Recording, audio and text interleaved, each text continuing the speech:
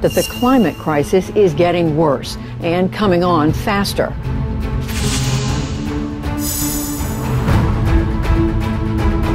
major cities underwater, unprecedented heat waves, terrifying storms, widespread water shortages, the extinction of a million species of plants and animals, and this is not fiction or exaggeration.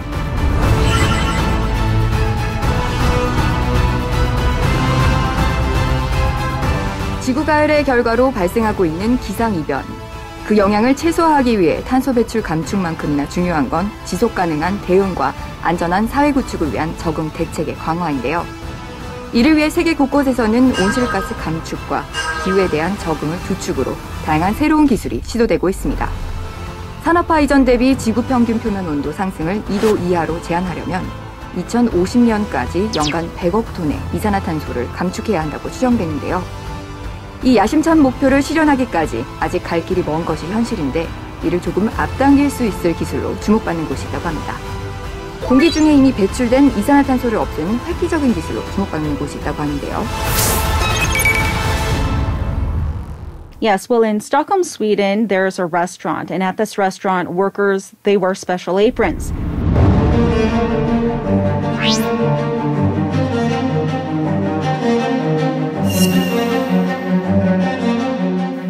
Are carbon capturing aprons. They're treated with an amine containing solution, and that allows them to pull carbon dioxide straight from the surrounding air.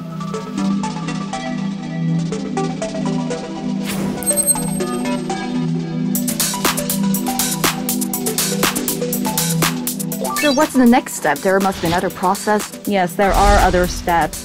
The aprons are taken to a greenhouse where they're heated to 30 to 40 degrees Celsius and this releases the captured CO2. The carbon is then used by the plants as food during photosynthesis. So the carbon dioxide emitted from the aprons, they're used to grow vegetables in the restaurant's basement greenhouse. And then those vegetables, they're used as ingredients by the restaurant. So it's like a loop. Wow, that's amazing. 어, 배출되는 탄소를 포집해 탄소가 필요한 식물에 직접 줌으로써 탄소 배출을 줄인다는 건데 널리 활용만 된다면 탄소 감축에 정말 유용할 것 같은데요. So this could be a potentially a game changer. Yes, that's what they say, a game changer. The aprons, they were developed by the Hong Kong Research Institute of Textiles and Apparel, and that was in collaboration with a major clothing company.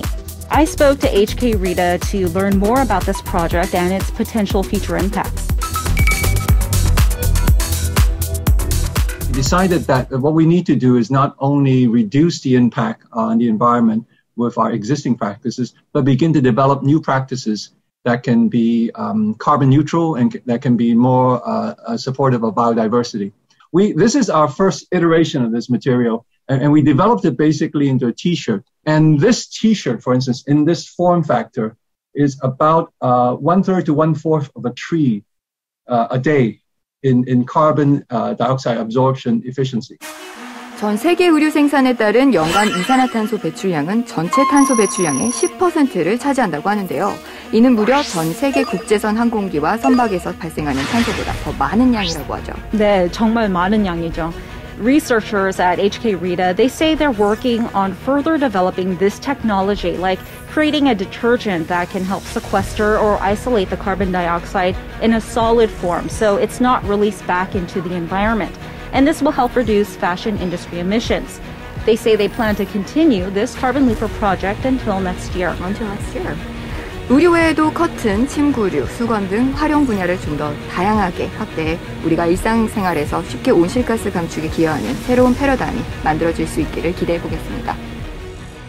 아침화보다 훨씬 더 큰 규모로 이산화탄소를 포집 중인 곳도 있습니다. So Rosen, tell us about the second place. Yes, well, let's look at Iceland near the city of Reykjavik. Here in this city is the world's biggest plant that sucks carbon dioxide straight from the air, unlike most other plants that produce or emit carbon. It's a commercial plant uh, that uses direct air capture technology.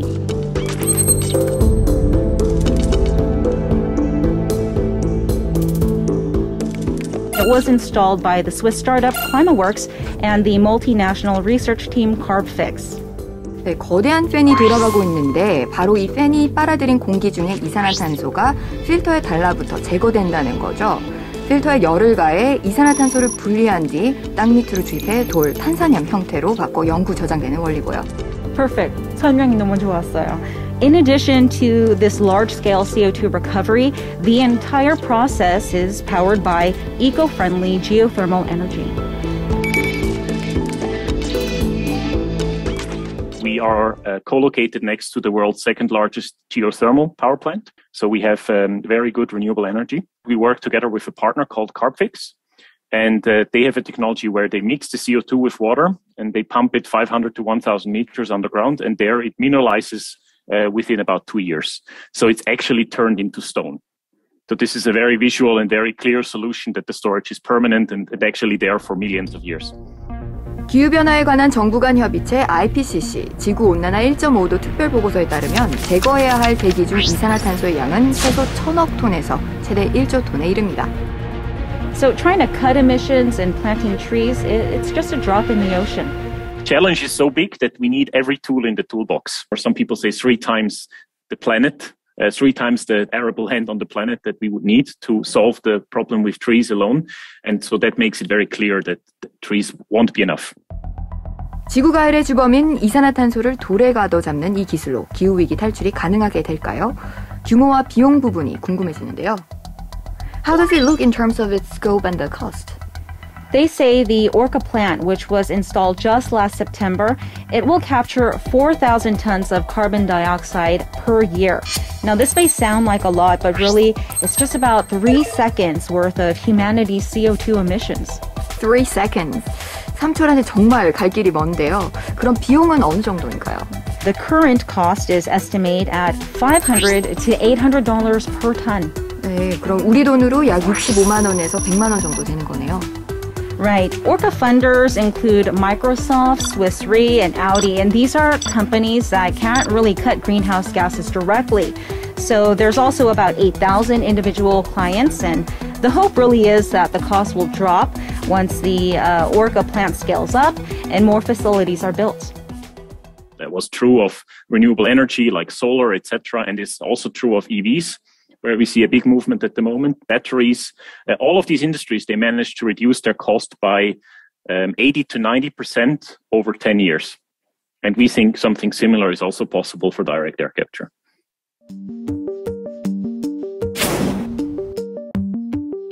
기후위기 경고음이 커지면서 탄소 배출 감축만큼이나 중요해진 건 피해 최소화를 위한 적응 대책입니다. 지구 가을로 여름이면 극한 고온의 날씨가 세계 곳곳을 강타하는 건 어느덧 새로운 일상이 되어버린 것 같은데요. 올 여름도 지구촌은 극한 폭염으로 홍역을 치르고 있죠. unprecedented heat waves. They've swept across parts of the United States and Europe with temperatures surpassing 40 degrees Celsius. Last year, in 2021, we saw the ground temperature in Athens, Greece hit a blistering 55 degrees. Όσο γίνεται, υπερβολική είναι η ζέστη, μας κουράζει, μας νευριάζει, μας, μας πιάνουν τα νεύρα μας. Αλλά υπομονή, τι να κάνουμε. 관광객의 열사병을 우려한 그리스 아테네는 아크로폴리스 등 대표 명소를 일시 폐쇄하기도 했는데요. 관광뿐만 아니라 도시 경제에도 부정적인 영향을 끼치고 있는 극한 폭염으로 인해 산불과 가뭄 등 기후위기로 인한 자연재해에 시달려온 아테네시는 지난해 유럽 최초로 최고 열 관리 책임자 Chief Heat Officer CHO를 임명하기까지 이르렀습니다. So you spoke with Athens CHO. What does the job entail? Yes.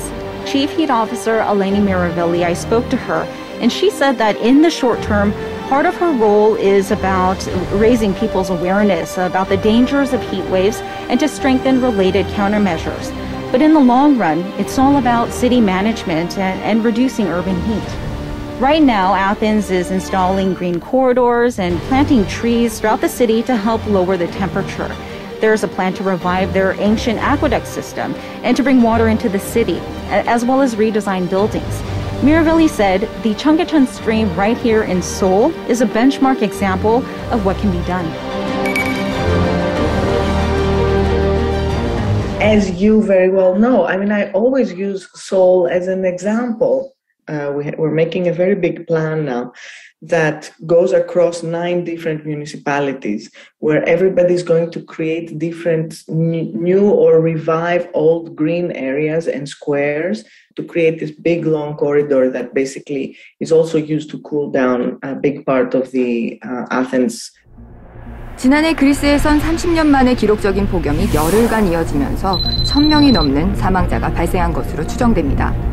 폭염은 별다른 징후 없이 사람의 목숨을 앗아가기 때문에 소리 없는 살인자라고도 불리는데요.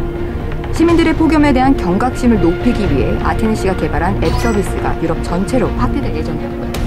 Yes, this application service is called Extrema Global. It was developed by Athens and uh, the National Observatory of Athens. So, like typhoon categories, it ranks heat risks on a four tier system and gives locals and even tourists real time data on nearby cooling centers and other potentially life saving information. So, people in, that live in hot climates, they usually don't take heat very seriously. They don't get take heat exposure really seriously. So these types of heat that we're having now with climate change is a, is a different animal than we're used to, but people don't understand that.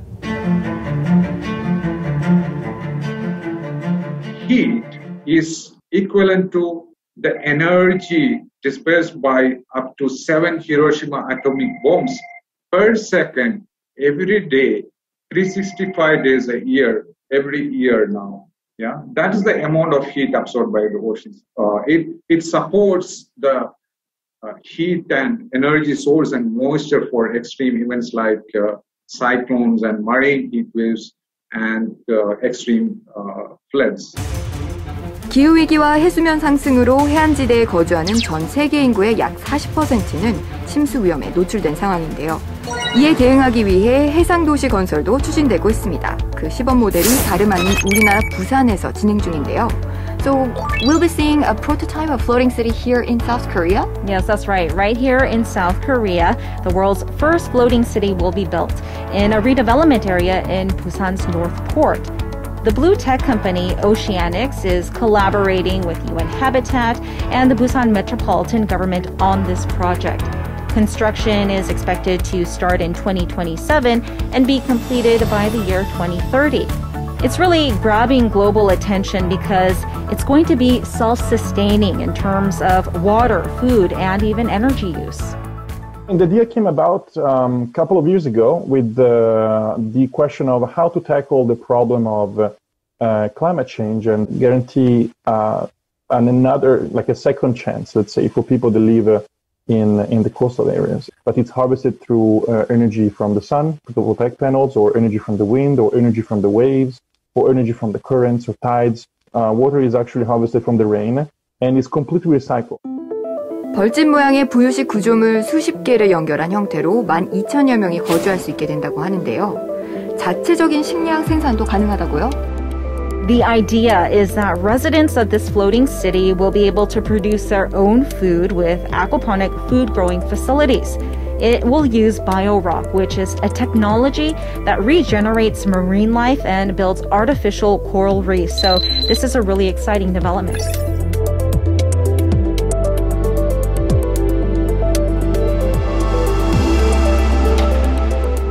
Call it biorock and uh, it allows to not just regenerate habitat in terms of marine environments, such as coral reefs, but it increases the speed of growth of salt marshes and seaweeds five times faster than normal conditions in order to basically not only uh, have an impact in terms of survivability of uh, uh coastal communities, but also in terms of rejuvenating habitats of coastal communities.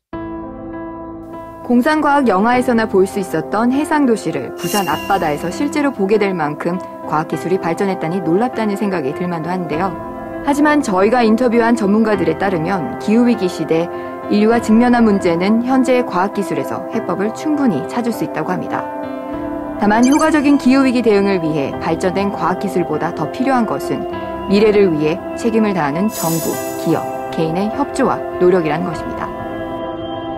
You can be a victim, you can be a bystander, or you can be part of the solution. All levels of government have to understand that mitigation and adaptation have to go hand in hand. And there are solutions, and we just have to invest in them and scale them, and then we can actually solve that problem as, as humanity.